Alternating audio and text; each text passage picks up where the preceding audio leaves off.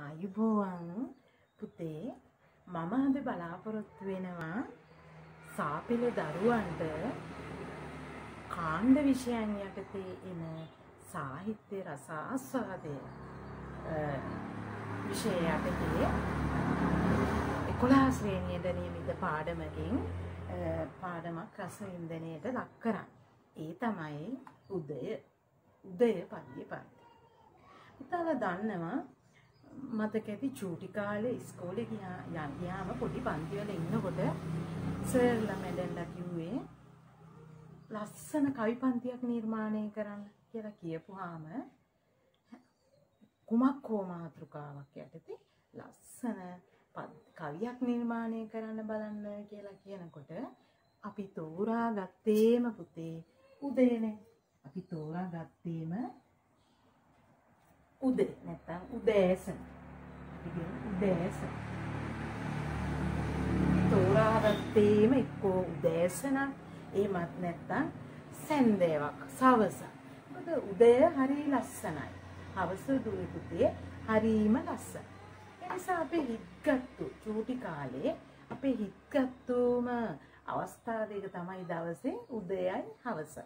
එනිසා අපේ දරුවෝ චූටි කාලේ තාමත් අදත් ගත්තාම පාසල් දරුවන්ට කවිපන්තියක් නිර්මාණය කරන්න කියලා කියපුවාම තෝරා ගන්නේම අසිරිමත් උදෑසන, මත්හිමි දිරි උදෑසන, ලස්සන උදය, අසිරිමත් සවස මේ මාතෘකාව තමයි. ලස්සන සිතුවිලි අපිට අවදි වෙනවා. මෙන්න මේ වගේ අපේ සාහිත්‍ය රචකයෝ අපේ සාහිත්‍ය කරුවෝ මේ උදේ පිළිබඳව සවස එහෙම නැත්නම් සන්ධ්‍යාව සෙඳෑව රාත්‍රිය අවස්ථා පිළිබඳ අපූරු නිර්මාණ ඉදිරිපත් කරලා තියෙනවා.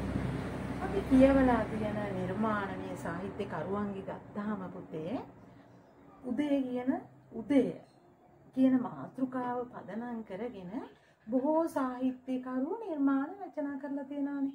ඒක කියවලා බලනකොට අපිට අමෝතු සුන්දරත්වයක් තමයි මේ සෑම නිර්මාණයකින්ම දක්නට. උදේට බොහොම පරිසරයේ සිද්ධ වෙන විවිධ වෙනස් වීම් තියෙනවානේ. ඉර පායගෙන එනවා, කුරුල්ලෝ කෑ ගහනවා, සතුටින් කෑම හොයාගෙන යනවා. මිනිස්සු කුරා කෝම්බියෝ වගේ රැකියාවලට යවනවා පරිසරයේ ටිකෙන් ටික ഘോഷාකාරී බවක් දක්නට ලැබෙනවා ටිකෙන් ටික සූර්යයන් නැගගෙන එනවා ලස්සන ලස්සන මල් පිපිලා ගස් කොළන් ප්‍රාණවත් වෙලා ඉරු එළිය වැටි ලස්සන පරිසරයක් නේදන්නේ මේ තේමා කරගෙන තමයි පුතේ නිර්මාණකරුවෝ ලස්සන උදෑසනක් මයව්වේ. ඒ පිළිබඳ ලස්සන නිර්මාණ ලිව්වේ. අපිට ලියන්න ගිහපුවම අපිටත් එන සිතුවිල්ල ඕක තමයි. ලස්සන සිතුවිලි එනවා උදේ පිළිබඳ. ලස්සන සිතුවිලි එනවා සන්ධ්‍යාව පිළිබඳ. ඉතින් අපි ඒව තමයි ලියන්නේ. හැබැයි අපේ යුගයේ මෑත කාලේ අපේ යුගය කියන්නේ පුතේ කොළඹ යුගයේ මෑත කාලීන කවියේ ලියපු උදය පිළිපද්‍යයක් තමයි ඔයාලගේ මේ උදෑසනක් ගැන ලියපු පද්‍ය පන්තියක් තමයි මේ උදේ කියන පද්‍ය පන්ති. මේ කවිය තමයි පුතේ කවුරුත් නෙවෙයි මායුග පුරුෂයෙක් වෙන සිරිගුණසිංහ කවිය. හැබැයි දුවේ පුතේ මේ සිරිගුණසිංහ කවියා දකින්නේ මේ උදෑසන මේ අන් කිසිදු කවියෙක් දැක්ක විදිහට නෙවෙයි. අපි දැක්ක විදිහටත් නෙවෙයි. අපි නොසිතූ නොපැතූ පැත්තකට මේ සිරිගුණසිංහ කියන කවියා මේ පද්‍ය හරහා අපිව ඇරගෙන අපිට හිතෙන්නේම උදෑසන ලස්සනයි. අපිට හිතෙන්නේම සුන්දරයි. අපි මවාගන්නේම ලස්සන සුන්දර උදෑසන. හිඟීම් බරුද. හැබැයි සිරිගුණසිංහ කවියා උදය ප්‍රතික්ෂේප කළා. උදෑසනට අකමැති වුණා. උදෑසනට විරෝධී ආකල්පයක් දැක්වුවා. ඒ බලන්න ඒ සාහිත්‍ය කරුවාගේ ආකල්පය. හැබැයි අපට නම් කවදාකවත් හිතුනේ නෑ. වෙනත් කිසිදු සාහිත්‍ය කරුවෙකුට හිතුවේ නෑ. ඒක තමයි උසස් සාහිත්‍ය කරුවාගේ ලක්ෂණය දුවේකට. අපි අන්න ඒබඳු සාහිත්‍ය කරුවන්ට නිර්මාණ කරුවන්ට කියනවා පුතේ ප්‍රතිභාපූර්ණ කවි. මොකද්ද ප්‍රතිභාපූර්ණ කියන වචනේ පුතේ? ඒක අපේ සාහිත්‍ය තුළ භාවිතා කරන වචනයක්. ඔයාලා දැනගන්නම ඕනේ කිසියම් අවස්ථාවන් සිදුවේ අපි දකින විදිහට නෙවෙයි අපූර්ව ආකාරයට වෙනස් ආකාරයකට දැකලා ඉදිරිපත් කරන්න තියෙන හැකියාවට කියනවා පුතේ අප්‍රතිභාව කියලා. එහෙනම් අපූර්ව ආකාරයට ඔහු මේක දැකලා. අපි අරගෙන යනවා අපේ මනස හදවත අරන් යන්න සමත් වෙනවා මේ කවිය වෙනම පැත්තකට. කවිය දකින්නේ විරෝධී ආකල්පයක්. උදෑසනට විරෝධාකල්පය දක්වනවා. අපි මෙතෙක් කල් දැක්ක උදේ නෙවෙයි සිරිගුණසිංහ කවියා දකින්න. අන්නේ සිරිත් ගුණසිංහ කවියා දැකපු උදෑසන ඒ සාහිත්‍ය සංකල්පනාව කවියා දැක්ක ඉදිරිපත් කරපු ඒ සාහිත්‍ය සංකල්පනාව රස විඳින්න තමයි අපි මේ සූදානම් මේ. අපි බලමු කතුවරයා උදේ ගැන මොනවද කියන්නේ? උදෑසන කොහොමද ඔහු දැකලා දෙන්නේ? ඔහු කොහොමද ඒකට විරෝධ ආකල්පය දක්වලා තියෙන්නේ කියලා අපි බලමු. මෙහෙම කියනවාලගේ පොතේ. පෙරදිග ගොර හැඩි රකුසෝ මගේ ධානය එයි කඩන්න. පෙරදිග ගොර හැඩි රකුසෝ. කවුද පෙරදිග ගොර හැඩි රකුස? පෙරදිග කියන්නේ නැගෙනහිර දිසාව. පෙරදිග දිසාවෙන් නැගෙනහිර දිසාවෙන් රකුසේ. ගොර හැඩි රකුසේ. කවියා හිරු දකින්නේ ගොර හැඩි රකුසෙක් විදිහට. හැබැයි අපි දැක්කේ ලස්සන හිරු ටිකින් ටික අපිට පෝෂණය ගෙනත් දෙන අපේ සාක වර්ධනය කරන අපිට අවශ්‍ය පෝෂණය ගෙනත් දෙන ලස්සන සූර්යාව තමයි අපි උදෑසන ලපට හිරු. අපි කියන්නේ ලපට හිරු කිරණ. ලස්සන සූර්යා කිරණ තමයි අපිට අපේ පරිසරයට උදෑසන එන්නේ මල් විකසිත වෙන්නේ ඒ ඔස්සේ. හැබැයි කතුවරයා ගොර හැඩි රකුසක් පෙරදිගින් එනවලු ගොර හැඩි රකුසක් අන්න සූර්යා ගොර හැඩි රකුසෙක් කිව්වා මගේ ධානය ඇයි කඩන්නේ? කතුරයා කියනවා මගේ ධානය ඇයි කඩන්නේ? මොකද්ද මෙයා? ධානය සමවැදිලා ඉන්නවා මෙයා. මොකේටද නින්දකට. මෙයා අපි ධාන ධ්‍යානගත වෙලා ඉන්නවා සමවැදිලා ඉන්නවා. යම් යම් සිතුවිලි වල එල්බ වෙලා ඉන්නවා. සිතුවිලට ආරෝපණය වෙලා ඉන්නවා. නින්දේ. මෙයානේ ඇයි මගේ ධානයේ කඩන්නේ? කඩන්නේ ඇයි කඩන්නේ? ප්‍රබල විරෝධයක් දක්වනවා ඊට පස්සේ කියනවා නිදා නිදා ගන්න පොරව ගත්ත කළු රෙදි පොට කතුවරයා කියනවා නිදා ගන්න පොරව ගත්ත කළු රෙදි පොට මොකද්ද මෙයා පොරවගත්තේ නිදාගන්න කළු රෙදිපට. කතුවරයා මේ කළු රෙදිපට කියන්නේ මොකේදද පුතේ? රාත්‍රියට. අන්න රාත්‍රියට කළු රෙදිපට කියනවා. බලමු අපි පද්‍ය පද්‍ය තීරුම් කරගෙන ගිහිල්ලා පුතේ ඊට පස්සේ මේ කතුවරයා මේ නිර්මාණය තුල පෙන්නන සුවිශේෂී ලක්ෂණ අපි සාකච්ඡා කරමු. කළු රෙදිපට තමයි රාත්‍රිය. මොකටද මේ තීරු වලට ඉරා දමන්නේ? තීරුවලට ඉරා දමනවා. කළු රෙදිපට අන්ධකාරය තමයි කළු රෙදිපට. තීරුවට ඉරන්නේ කොහොමද? ඒ සූර්ය කිරණ පුතේ කිරණ අපිට රේඛා වශයෙන් පතිත වෙන්නේ පරිසරයට. උදේ සූර්ය කිරණ අපිට බලන්න විදිහ මේම රැස් කිරණ කිරණ එන්නේ පරිසරයට. ඉරු කිරණ තමයි මේ අන්ධකාරය අන්ධකාරය තීරුවලට ඉරා දානවා ඉරෙලිය. කතූරයා තීරුවලට ඉරා දාන්නේ ඇයි? ඒකට තීරුවලට ඉරනවා කියන්නේ තිරු කිරණ වලින් අන්ධකාරය තුරන් කරන එක කතූරයා මේ තීරුවලට ඉරා දාන්නේ ඇයි කියලා කියන්නේ. කුරුල්ලන්ට ගල් ගහලා කුරුල්ලෝ උදේ ටිකෙන් ටික රාත්‍රිය කෙටි වෙලා ඉර පායගෙන එනකොට කුරුල්ලෝ රාරය තිස්සේ නිදන් හිටපු නිශ්ශබ්දව හිටපු කුරුල්ලෝ කෑම සොයාගෙන එනවා පැටවුන්ට කෑම අරගෙන ඇවිල්ලා කවනවා පරිසරය බොහොම කලබලයි. අපි දකින්නේ එහෙමයි. සතුටින් උන් පියා බලා යන්නේ. ඒ කතුවරයා කියන කුරුල්ලන්ට ගල් ගහලා කුරුල්ලෝ කෑ ගහන්නේ හිරු ඇවිල්ලා ගොර ඇටි කපුසෙක් වගේ ඇවිත් හිරු කිරණවල එවල ඒවා ගල් ගල් ගල් තමයි මේ හිරු කිරණ කුරුල්ලන්ට ගහලා ඇහැරවනවා. උකේ ගහලා බයේ ඉගිලිලා යනවා. ඌ හොඳටම බිය වෙලා බය වෙලා මේ කෑ ගහන්නේ. මල් පොහොට්ටු තිගැස්සිලා මල් පොහොට්ටු අපි දකින්නේ විකසිත වෙලානේ. හිරු කිරණ එනකොට දුවේ පුතේ මල් විකසිත වෙනවා, පිපෙනවා, වදි වෙනවා. කතුරයා කෙනා මල් බය වෙලා ඇහැරලා ඉන්නේ. මල් දිගැස්සිලා කලබල වෙලා පරිසරය බොහොම කලබලයි. කඳුළු හෙලනවා. මල් පොහොට්ටු වල උදෑසන මල් පිපුණාම පුතේ අපි දන්නවා මල් මත පිණි පතිත වෙලා තියෙනවා.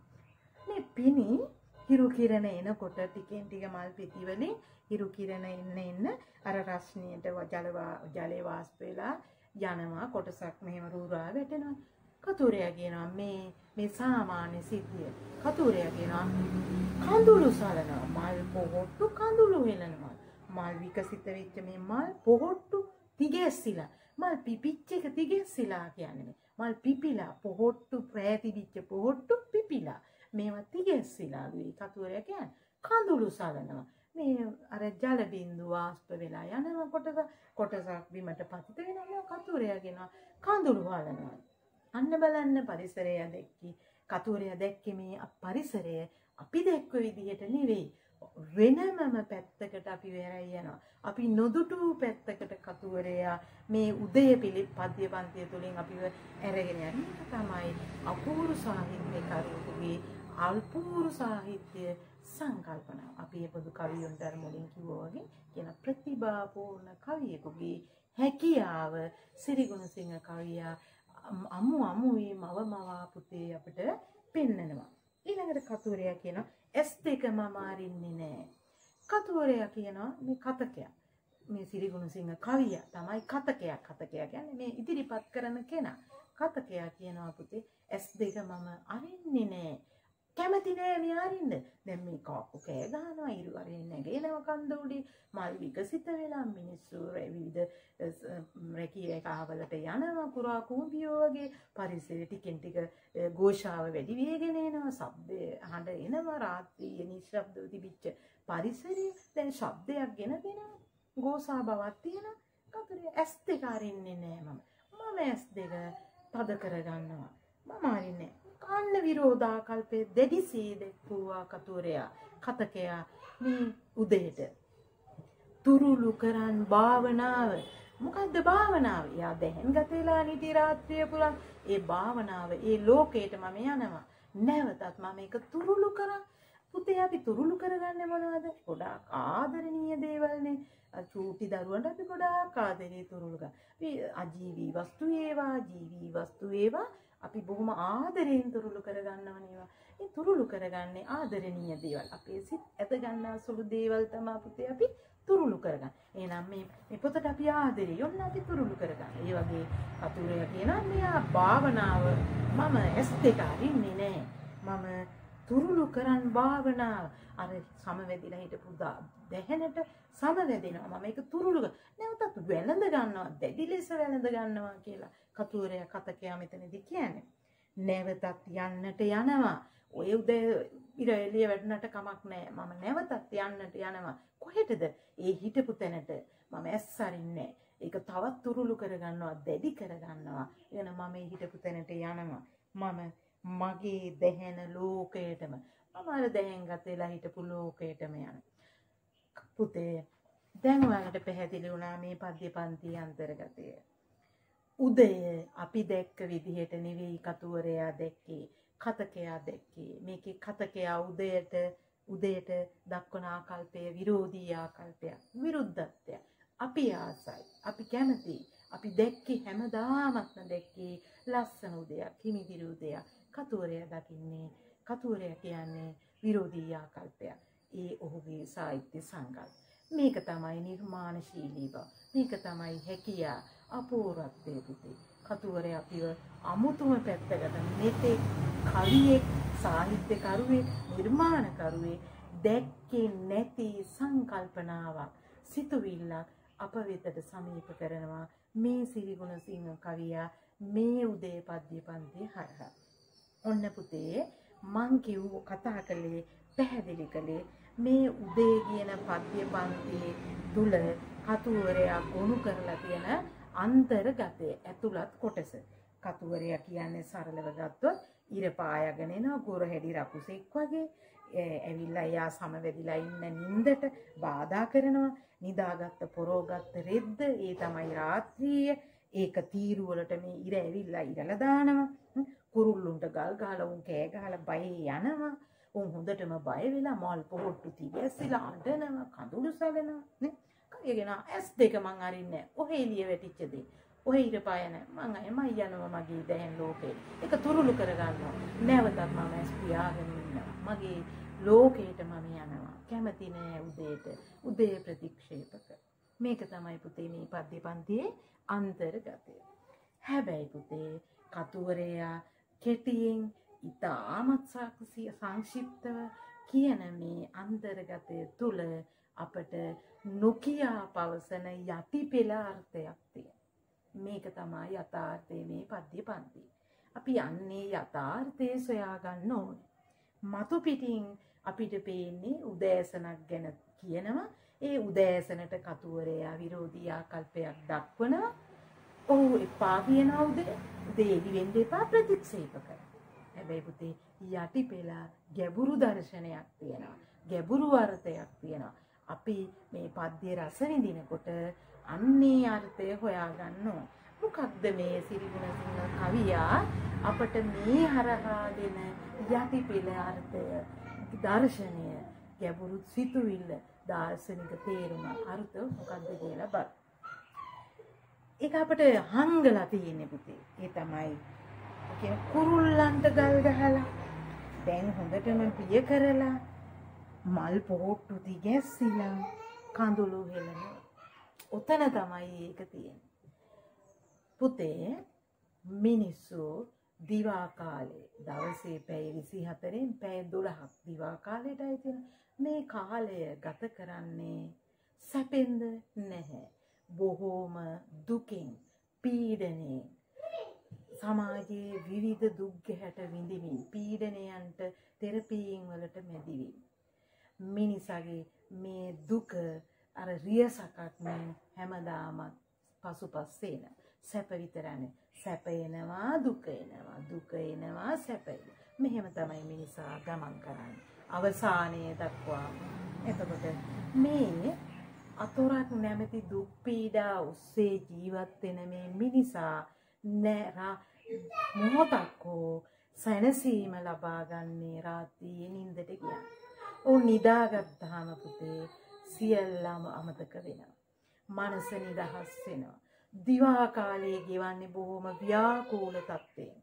නිදාගත්තා මේ සියල්ල අමතක කරලා නින්දේ පසු වෙනවා. විවිධ සිහින ලෝකවලට යනවා. මොහොතක් හෝ සැනසීමක් ලබනවා. ඒ නිසා කතුවරයා මේ උදෑසන ප්‍රතික්ෂේප කරන්නේ මෙන්න මේ විරෝධය දක්වන්නේ මෙන්න මේ හේතුව හින්දයි පුතේ. මොකක්ද හේතුව? රාත්‍රිය ගත වෙලා පහසුවදා දවස උදා වුණන් පස්සේ මිනිසට සිද්ධ වෙනවා නැවතත් ඔහු අර කලින් දින ගත කරපු දවල් කාලයේ ජීවිතයට පත් ඒ තමයි පුතේ අර අතෝරක් නැතුව දුක්කැට ගැහැටවල විඳිමින් පීඩාවන්ට ලක්වෙමින් දවස ගෙවීම සඳහා ඔහු කරන සටන. ඒ සටනට පසුවදා එලිවීමත් සමඟ නැවතත් මුණ දෙන්න සිද්ධය. ඒ නිසා ඒකට කැමති නෑ මිනිසා. මේ කතකයා එකට කැමති නෑ. ඒ නිසා එපා කියනවා. මේ කියන්නේ කුරුල්ලන්ට ගල් ගහලා ආයෙත් අර පීඩනය දෙනවා. කුරුල්ලන්ට ගල් ගහන නිදානින්න සැහැල්ලුවෙන් මානසික සතුටක් විඳිමින් නිදාගෙන ඉන්න මිනිස්සුන්ට ගල් ගහලා ඇහැරවනවා වගේලු මේ කතුවරයා කියන්නේ ඉරපායගෙන ඉන්නේ. ඒක කුරුල්ලන්ට ගල් ගහලා කියන මේ පදය තුල තියෙන යටි පෙළ තේරුම ඒකයි පුතේ. මිනිස්සු අවදි කරන්න. මිනිසා ආයෙත් පසුවදා අර කලින් ගත කරපු දුක්බර පීඩිත ජීවිතයටම ඔහුට මුහුණ දෙන්නට සලස්සන එකට කැමති නෑ. ඒකයි කුරුල්ලන්ට ගල් ගහලා ඇහැරවනවා කියන එකෙන් කියන්නේ. උන් හොඳටම බිය කරලා පසුවදා එළි වෙනවට බයයි මිනිසා. ආයෙත් අර ජීවිතයට මුහුණ දෙන්න වෙන හින්දා මල් පොහොට්ටු තිගැස්සිලා ඇහැරෙනකොට උදේ මිනිස්සු ආයෙත් බොහොම මානසික සිත් අවුලකට පත් වෙනවා. ඒක තමයි තිගැස්සීම. මල් පොහොට්ටු තිගැස්සීමෙන් අර්ථවත් ගන්නේ අන්නේ යටි පෙළ අරුතයි පුතේ. එහෙනම් කඳුළු හලනවා. මිනිස්සු උදේ නැගිටින්නේ සතුටින් නෙවෙයි. දවල් ගත කරන්න වෙන අනේක විද දුක් පීඩා සහිත ජීවිතයට මුහුණ දෙන්න ලෑස්ති වෙලා එහෙනම් සතුටින් නෙවෙයි දුකෙන් ආයෙත් මේ පීඩණයෙන් මට අද පැය 12ක් ගත කරන්න වෙනවා. නින්දට යන තෙක් ගත කරන්න වෙන්නේ බොහොම දුකෙන් පීඩණයෙන් කනස්සල්ලෙන්. ප්‍රශ්නත් එක්ක තමයි ජීවත් වෙන්නේ. නම් මිනිසාගේ සමාජ ප්‍රශ්නයක් අපේ මේ සිරිගුණසිංහ කතුවරයා බොහොම අපූර්වට කාව්‍ය සංකල්පනාවකට උදය කියන මේ අකුරු තුනේ සුන්දර වචනය තුල ගැප් කරලා තියෙනවා පුතේ. ඕක තමයි යටි පෙළාරුත. ඒකයි අවසානිට කතුවරයා කියන්නේ ආයෙත් අර දැහැනට යනවා මම කැමති නේ මං ඇස් දෙක අරින්න. තුරුළු කරගන්නවා භාවනාව ප්‍රතික්ෂේප කරනවා යලිත් දවාල උදා වීම දවසේ උදාව අර ප්‍රශ්නවලට මූණ දෙන්න බියයි කැමති නෑ. ඒක තමයි යටිපෙළාව ඒක පැහැදිලි කරන්න පුතේ තුන්වෙනි පද කොටසින්. කුරුල්ලන්ට ගල් ගහලා උන් හොඳටම බිය කරලා මල් පොහොට්ටු තිගැස්සිලා කඳුළු සලනවා. මිනිස්සු කැමති නැති බව අන්න එතනින් පෙන්නන්නේ. එහෙනම් දැන් දූලා පුතාලට පැහැදිලි. අපේ මේ කවියා මහා අලුත්ම තැනකට අභිවාරගෙන ගියා. දැවන්ත කාව්‍ය සංකල්පනාවකට මේ සුන්දර මාතෘකා ඔස්සේ අරගෙන ගියා. අපි නොසිතපු පැත්තකට කතුවරයා අපේ මනස හදවත අරගෙන ගියා. කවියා බොහොම අපූර්ව කාව්‍ය සංකල්පනාවක් අපට අපේ හදවතට මනසට ලං කෙරුවා. අපි කවදාකවත් පුතේ හිතුවේ නෑ මෙහෙම සිතුවිල්ලක් ගැන. ඔන්න අපේ මනස අලුත් කළා අපූර්වත්වයක් ගෙනත් දුන්නා. අලුත් අත්දැකීමක් අපට ලබා දුන්නා. එහෙනම් අපූර්ව කවියෙක්, ශ්‍රේෂ්ඨ කවියෙක්, ශ්‍රේෂ්ඨ රචකයෙක්, ප්‍රතිභාපූර්ණ කවියෙක් කියලා අපිට සිරිගුණසිංහ කවියා හඳුන්වන්න පුළුවන්නේ මෙන්න මේ ඔහුගේ තියෙන සුවිශේෂී හැකියාව නිසා, අපූර්ව හැකියාව නිසායි දුවේ පුතේ. එහෙනම් ඔන්න උදය පද්‍යයෙන් අපිට කතුවරයා දීපු කරුණ තමයි මේ අපි කතා කළේ. එහෙනම් පුතේ අපි බලමු ඔයාලට විභාගෙට ප්‍රශ්න පත්‍රය සකස් වෙන්නේ කොහොමද මේ පාඩම තුලින් කියලා. අපි ඒ ගැනත් පොඩ්ඩක් කතා කරන්න ඕනේ. අපි සූදානම් වෙන්නේ ලස්සන මාතෘකාවක් යටතේ රසවින්දනය. අපි රසවින්දා. අපි අලුත් මනෝ ලෝකයකට අරගෙන ගියා. අලුත් සිතුවිල්ලක් අපේ හදවතට මනසට සමීප කෙරුවා. ආ ඔව් තමයි. මේ සමාජ ප්‍රජයේ දැවෙන සමාජ ප්‍රශ්නයක් කතුවරයා ලස්සන මාතෘකාවකින් අපිට දුන්නා. අපි හිතුවේ නෑ මේක. හැබැයි කතුවරයා හිතුවා කතුවරයා අලුත් සංකල්පනාවක් අපිට දුන්නා. මේක හරහා පුතේ අපිට අපි කොයිතරම් මේක රස වින්දද කියන එක තුල තමයි අපිට මේ ප්‍රශ්න වලට පිළිතුරු ලියන්න පුළුවන්. මේ පද්‍ය මෙහෙම ලස්සනට අපි රස විඳගත්තොත් පුතේ අපිට මේකෙන් අහන ඕනෑම ප්‍රශ්නයකට පිළිතුරක් ගොනු කරන්න පුළුවන්. තුල පුතාලා දන්නවා ඔයාලට ප්‍රශ්නයක් ලැබෙනවා ලකුණු 25ක මේ පද්‍ය පන්තිය දීලා ඒකෙන් කෙටි ප්‍රශ්න හතරක් අහනවා. අහනවා සමහර විට මේ පද්‍ය පන්තිය දුන්නයි කියලා හිතන්නකෝ පද්‍ය පන්තිය දීලා කියනවා පද්‍ය අත්දැකීම පිළිබඳව අදහස දක්වන්න කෙටි අදහසක් වචන පේලි දෙකකින් ඔබේ අදහස කවියා මේ පද්‍ය පන්තිය සාර්ථක කරගන්න අනුගමනය කරලා තියෙන කාව්‍ය උපක්‍රම ගැන ඔබේ අදහස. කතුරයාගේ භාෂාව කොහොමද? මේ පද්‍ය පන්තියේ කතුවරයා ප්‍රතිභාපූර්ණ කවියෙක් කියලා ඔයාලට කියන්න පුළුවන් කොහොමද? කොටස් කොටස් වශයෙන් ලකුණු 25ක ප්‍රශ්නයක් හැදේ. රසවින්දනයේ ප්‍රශ්නයක් ලැබෙනවා. එහෙනම් දැන් මේ පද්‍ය පන්තියේ අපි ලෑස්ති වෙන්න ඕනේ පුතේ. පද්‍ය පන්තිය හොඳින් අපිට අවබෝධ කරගත්තොත් අපිට කුමන ප්‍රශ්නය ආවත් පිළිතුරු ලියා ගන්න පුළුවන්. එහෙනම් මම හිතනවා දුල පුතාලට මේ පද්‍ය පන්තිය හොඳින් රස විඳ ගත්තා. හැබැයි අපි මේකේ සුවිශේෂිත තැන් තාම සාකච්ඡා කළේ නැහැ. පද්‍ය පන්තිය රස විඳ ගත්තා. ඔන්න පද්‍ය පන්තියේ හරය, අන්තර්ගතය, ඇතුළත් කරලා තියෙන කරුණු මොනවද කියලා අපි දැන් අවබෝධ කරගත්තා. ඔන්න මං කිව්වා එක ප්‍රශ්නයක් ඔය 25 ප්‍රශ්න. තව ප්‍රශ්නයක් හැදෙන්න පුළුවන් පුතේ ලකුණු 15 විචාර ප්‍රශ්න. අපි කියමු මෙහෙම. සිරිගුණසිංහ කවියා ප්‍රතිභාපූර්ණ කවියකි. උදේ පද්‍ය පන්තිය තුළින් නිදසුන් දක්වමින් විමසන්නේ. මේ සරල කෙටි එකක් මං කිව්වේ. ඔන්න ලකුණු පහක්. එහෙනම් පුතේ ඇත්තටම ප්‍රතිභාපූර්ණ කවිය කියලා ඔප්පු කරන්න නම් අපි මේ පද්‍ය පන්ති අපේ මනසට හදවතට රස විඳලා අන් ඇතුළත් කර රස වින්දනය විඳලා හැඟීම් දැනීම් අපි තුල ඇති කරගන්න ඕනේ. ඒක ඇති කරගන්න නම් මේ පද්‍ය පන්තියට පිවිසිලා ඒ තුල ඉඳලා බොහොම හොඳින් රස විඳින්න ඕනේ. මම හිතන පුතාලට දැන් මේක හොඳට තේරුණා කියලා. අපි බලමු. දැන් මම පැහැදිලි කරා ප්‍රතිභාපූර්ණ කවිය කියන්නේ කවුද කියලා. අපූර්ව අත්දැකීමක් අපූර්ව ආකාරයෙන් වෙනස්ම ආකාරයෙන් ඉදිරිපත් කරන්න තියෙන හැකියාවට තමයි ප්‍රතිභාපූර්ණ. එහෙනම් එයා මේ මේ මේ කතුවරයා ඒ දේ හොඳට මෙතන කර. අපි එදිනෙදා අපේ ජීවිතේ භාවිතා කරන වචන කතුවරයා අපූර්ව තැන්වලට අපූර්ව විදිහට යොදලා තියෙනවා. ඒක තමයි කතුවරයාගේ හැකියාව. මේ කියව අපිට නෑ. හැබැයි ඔබට පුළුවන් මේ බුදු හැකිය ඇති කරගන්න නේ. අපිට පුළුවන් හැකිය ඇති එහෙම ඇති කරගන්න නම් අපි මේවා තව තවත් හොඳින් ලගන්නා සුළු විදියට රස විඳින්න ඕනේ දුවේ පුතේ. එහෙනම් ඔන්න මම මේ පද්‍ය පැහැදිලි කරා ප්‍රශ්න හැදෙන විදිය කිව්වා. අහන විදිය කිව්වා ලකුණු 15 ප්‍රශ්නයක් හැදෙන්න පුළුවන් ලකුණු 25ක් ගන්න ප්‍රශ්නයක්? ලකුණු 25ක් කියන්නේ ලොකු දෙයක්. ලකුණු 15ක් කියන්නේ ලොකු දෙයක් ඔබට. ඒකක් ගන්න හරිම පහසුයි. මේවා මේ විදිහට අපි රස විඳොත් මේ රස වින්දනය විභාගෙට විතරක් නෙවෙයි පුතේ. ඔබේ ජීවිතයටත් ඔබේ ජීවිතය ලස්සන කරගන්න ඔබ නිර්මාණකරුවෙක් වෙන්න රස හොඳ සහෘදයෙක් වෙන්න හොඳ රසිකයෙක් වෙන්න සියල්ල බලපාන. අපි පාඩමක් දුන්නාම මේ පාඩමෙන් ප්‍රශ්නවලට උත්තරයක් ලියන්න ප්‍රශ්න කටපාඩම් කරන්න අපි හුරු වෙන්න හොඳ නෑ. අපි පාඩමේ අපිට දීලා තියෙන පද්‍ය හොඳින් අපේ හදවතට මනසට සමීප කරගත්තොත් ඒ ඇතුළත් වෙලා තියෙන තොරතුරු අපි හොඳට අපේ හදවතට මනසට සමීප කරගත්තොත් අපිට දුවේ පුතේ ඕ අහන ඕනෑම ප්‍රශ්නයකට ලියාගන්න වචන ගලපා ගන්න පුළුවන්. අපිට කරන්න තියෙන විභාග ශාලාව තුළදී එකම එක දෙයයි ඒ තමයි කාලය කළමනාකරණය. අනවශ්‍ය හැලි ගොඩක් ලියන්න ගියොත් කාලෙ මදි වෙනවනේ. ඒකට අපිට ඒකකට යන්න වෙන්නේ අපි ඒක හිතන්නත් ඕනේ. හොඳ සහෘදයෙක් වෙන්න ඕනේ. හොඳ රසිකයෙක් වෙන්න ඕනේ. හොඳ නිර්මාණකරුවෙක් වෙන්න. නිසා උදය හොඳට රස විඳින්න ඕනේ. එහෙම වුණොත් අපිට ඕනෑම ප්‍රශ්නයකට පිළිතුරු ලියන්න පුළුවන්. ඔන්න මම ප්‍රශ්න කිව්වා.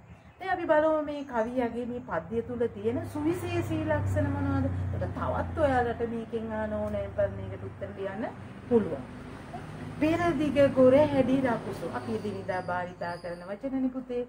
පෙරදිග ගොර හැඩි රකුසු. ගොර හැඩි රකුස. අපි කැමති නෑ ගොර හැඩි අකමැති වෙයි. රකුස අක හැබැයි කවියා අපූර්වම වෙලාවේ අපූර්වම තැනකට ඕනම තැනකට ඒ අවස්ථාවට ගැබෙන්නේ මේ අපි අකමැති වචන ගෙනල්ලා ලස්සන නිර්මාණයක් මෙව්වා. ගොර හැඩි රකුස. එමේ කවුද? ගොර හැඩි රකුස සූර්ය. ගොරහැඩි රකුසෙක් වගේ කීවේ නෑ. ගොරහැඩි රකුස. එහෙනම් මෙතන තියෙන්නේ රූපක භාවිතය. ඊළඟට බලන්න පුතේ මගේ ධානය ඇයි කඩන්නේ? තරයේ කිව්වා. ඇයි කඩන්නේ? ධානය. වචන. ධානය පාලි සංස්කෘතවනේ. ඒ වචන අපූර්ව තැනට ගෙනල්ලා දෙනවා. නිදාගත් පොර නිදා ගන්න පුරව ගත්ත කළු රෙදිපට. මේ රාත්‍රියේ අර්ථ ගන්නේ කළු රෙදිපට. ඒක රාත්‍රිය කළු රෙද්දක් වගේ කියලා කියලා නෑනේ පුතේ. කතුරේ කියන්නේ නිදා ගන්න පුරව ගත්ත කළු රෙදිපට. රූපකයක්. බලන්න භාෂාව අපූර්ව විදිහට යොදපු යටි භාෂාව මේ පද්‍ය පුරා පද්‍ය හරි සංක්ෂිප්තයි කෙටි දිග නෑ කෙටි හැබැයි ඒ තුල ඕනම වචනමයි තියෙන්නේ එක වචනයක් අපතේ නෑ ඒ නිසා භාෂාව පරිශිෂ්ට විදියට වයි සමාප්ත අර්ථයෙන්ම මේ තැන්වලට කතුවරයා තාමත් දක්ෂ විදිහට ඇතුළත් කරලා තියෙනවා. තීරු වලට ඉරාදන. අපි කේන්ති ගාමනේ තීරු තීරු වලට ඉරුවගේ කතුවරයා කේන්තිය පෙන්වන්නේ. කේන්තිය පෙන්වන තීරු වලට ඉරාදානමනේ. කළු රෙද්ද කළු රෙද්ද නැමැති රාත්‍රිය තීරු වලට ඉරාදාන. කැමති නෑ. කේන්තිය කතුරයාගේ මනසේ තියෙන කතකයාගේ විරෝධය පෙන්නැව්වේ භාෂාවෙන්. ඉරාදාන. ඊළඟ කුරුල්ලන්ට ගල් ගහලා ඉරු ගැහ කුරුල්ලන්ට ගල් ගැහුවා භාෂාව බලන්න. මේවට අපි කියන පුතේ කාව්‍යාත්මක යෙදුම් කියලා. පද්‍ය පන්තියක් ලස්සන කරන කරන්නේ භාෂාවෙන් ඒවා ඕනෑම දෙයක් යෙදුම්. අපි ව්‍යංජනයක් පිළියෙල කරනකොට එළවලුවක් වියනකොට මාළුවක් පිළියෙල කරනකොට යෙදුම් කලමනලානේ සරක්කු සූදුරු මහදුරු ගම්මිරිස් ගොරක කරපිංච නොයේ උළුවල් නොයිද රසවත් කර. ඒ වගේ තමයි නිර්මාණය රසවත් කරන්න කතුවරයා අපි එදිනෙදා භාවිතා කරන අපූරු වචන අපූරු විදියට මේ තුළට ගෙනල්ලා තියෙන. ඒක තමයි එතුමගේ තියෙන හැකියාව පුතේ. බලන්න හොඳ උන් හොඳටම බිය කරලා කලබල කතුර කැමති නෑ. කැමති නෑ. උන් හොඳටම බිය කෙරුවා. මේ ඉර ගල් ගැහුවා. බොර හැඩි රකුසා. ගල් ගැහුවා. රෙද්ද කළු රෙද්ද තීරු වලට ඉරුවා. කුරුල්ලෝ හොඳටම බිය කෙරුවා. කතුරයා විරෝධී පා. මල් පොට්ටු කලබල කෙරුවා. මල් පොට්ටු කලබල වෙලා අඬනවා. පරිසරයේම දුක මුළු පරිසරයටම ගෙනාවී අඳෝනාවක්. මේ උදයම සමස්ත පද්‍යයම තියෙන්නේ දුක් අඳෝනාවක් පුතේ. හැබැයි අපි ලියපු උදේ වෙනත් කවියෝ ලියපු උදේ තියෙන්නේ සුඛදායි සුභවාදී උදයක්. සතුටක් සැපතක් ඒ උදය කියවනවා. හැබැයි මේ තියෙන්නේ දුක් අඳෝනාවක්. කතුරයා සම්පූර්ණයෙන් විරෝධී ආකල්පය දැක්වුවා. දුක් සමස්ත උදයම සිරිගුණසිංහ කවියාගේ අඳෝනාවක් විලාපයක් විරෝධාකල්පයක් එකයි කියන්න ඕන. තුරුළු කරන් භාවනාව යෙදුම්බන් තුරුළු කරම් භාවනාව තුරුළු කියන වචනය ගත්ත භාෂා මම මේ කතා කරන්නේ පුතේ භාෂාවේ කතුවරයාගේ සුවිශේෂී තැන්. කතුවරයා රූපක භාවිතා කර එක වචනයක් අහක දාන්න දෙයක් නැහැ මේ ගොර හැදි රකුසෝ විරෝධාකල්පය දක්වන්න තියෙන වචන ගත්තා. නිදාගත්ත පොරෝගත්ත කළු රෙද්ද රාත්‍රිය කියන කළු රෙද්ද තීරුවලට ඉරුවා විරෝධාකල්පය දක්වන්න තියෙන උපරිම වචනය. නේ මල් පොහොට්ටු තිගැස්සිලා ගැස්සිලා නෙවෙයි තිගැස්සිලා. බොහොම තිගැස්සිලා ඊට පස්සේ කියන කඳුළු හෙලනවා ගැස්සිලා බලන්නේ නෑ විතර නෙවෙයි. ඇස් වලින් කඳුළු මල් පොහොට්ටු අඬනවා. කතුවරයා විරෝධාකල්පේ දැක්වුවා ඕන දෙයක් වෙච්චාවේ මම යනවා. කැමති නෑ කියලා මගේ දැහැන ලෝකයටම. මම මම කියන කතකයා එයාගේ ලෝකයට යනවා. භාෂාව පරිශිෂ්ට විදියට බොහොම අර්ථවත් පද ටිකයි කතුවරයා ගත්තේ දුවේ පුතේ.